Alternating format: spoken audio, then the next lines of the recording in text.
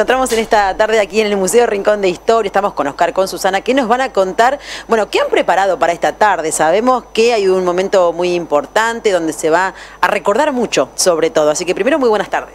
Buenas tardes, este, Elizabeth. Eh, bueno, estamos eh, en, un año más del Día de los Museos, que fue ayer en realidad el 18, pero bueno, hubo una idea compartida con el Museo del Campo, este, donde el protagonismo es un poco el del Museo del Campo, porque habla de polenta, de maíz, habla de todo eso.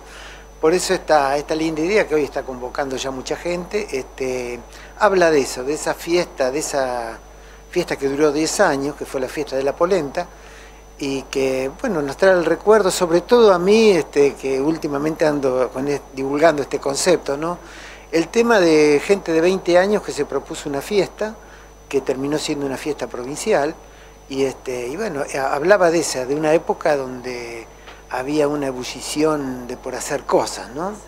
Y bueno, después este, las historias a veces empiezan y terminan, pero todo lo que ocurrió en el medio fue muy interesante y muy ejemplificador, como se dice ahora. Pero Susana este, estuvo trabajando más sobre todo estos diarios, este, Reseña, el Centinela, La Voz de Salto, Los Principios, este, y se hizo todo un trabajo de investigación donde Susana se lo leyó completo. Bueno, me encanta, ¿no? Te, dejaron muy arriba, Susana. leímos, eh, leímos con Malisa, en realidad, es que ahora no se escapó. Eh, no, en realidad este, todo surgió en una charla informal viendo qué este, podíamos eh, hacer para el Día Internacional de los Museos, cómo estar presentes.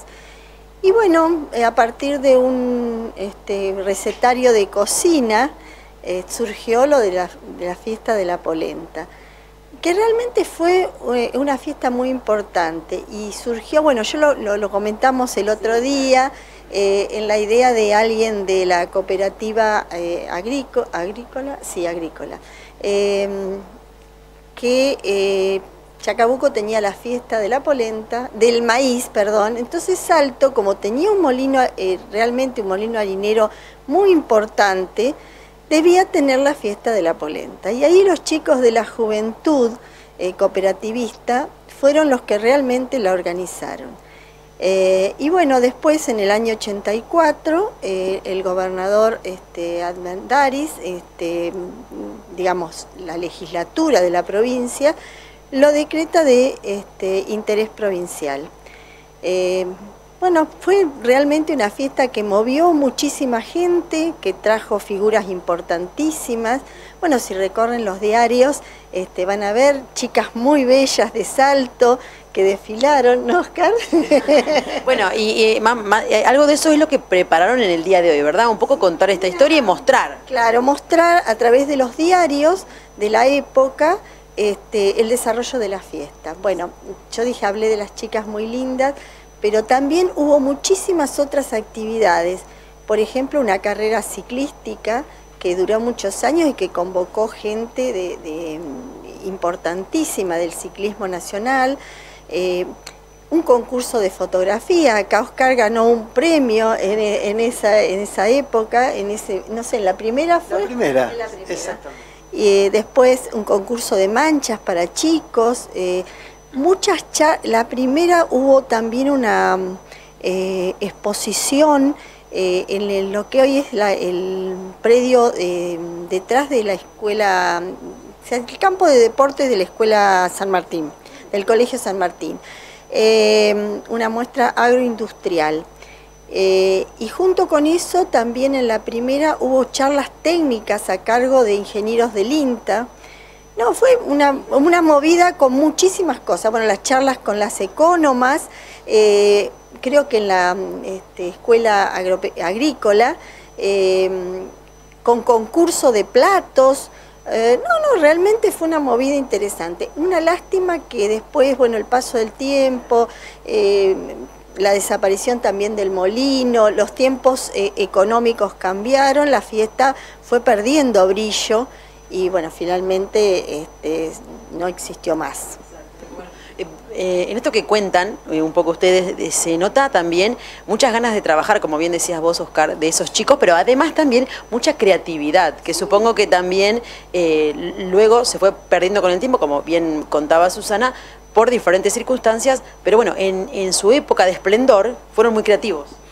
Sí, sí, lo que pasa es que bueno, ese periodo, este 83, cuando arranca la democracia nuevamente, había muchas ganas de hacer muchas cosas, porque incluso nosotros en, esta exposición pusimos los diarios completos, quiere decir que uno puede hojearlos, esas 7, 8, 10 páginas, este, y uno va metiéndose en el contexto de esa época, pero fue una época donde se salió de, un, de una época muy oscura y realmente la gente quiso hacer muchas, muchas cosas, y este, bueno, terminó en el 93, ya estaba Menem, por eso en, estos diarios aparecen todas esas historias, así que uno vio la transformación de un país, como este, bueno, cómo fue cambiando, como siempre fue cambiando, ¿no? Este, pero lo lindo es eso, este, bueno, y lo que uno siempre plantea, que no es solo nostalgia esto, digamos, puede empezar de nuevo en cualquier momento. Si uno se lo, si lo, si se predispone la gente, estas historias pueden ocurrir de nuevo. Pueden marcar una, época. Claro, tienen que servir también de inspiración. O sea, eh, precisamente los museos, lo, lo charlábamos el otro día, no tienen que ser un lugar, digamos, donde están cosas eh, ya pasadas. Son cosas pasadas, sí, pero pueden servir de inspiración eh, en el presente, ¿no es cierto? Modificar, un lugar de educación, de, de aprendizaje, de ver lo que hicieron antes, pero que también puede servir para el presente. Creo que por ahí pasa la, cosa. Bueno, nosotros quisimos recordar algo que, fue importante para Salto, que le dio una movida y una presencia a nivel nacional, este, provincial. Y bueno, eh, pensar que cuando hay, hay esfuerzo, cuando hay ganas, las cosas se pueden hacer. Bueno, quiero quedarme con, ese, con esa última frase, ¿verdad?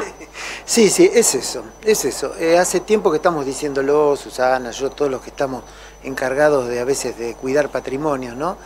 De no, no tanta nostalgia, todo puede volver a ocurrir este, si la gente pone la energía que se puso antes, que es poner energía, ¿no?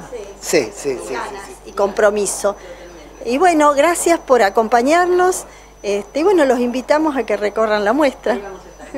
Gracias, Elizabeth.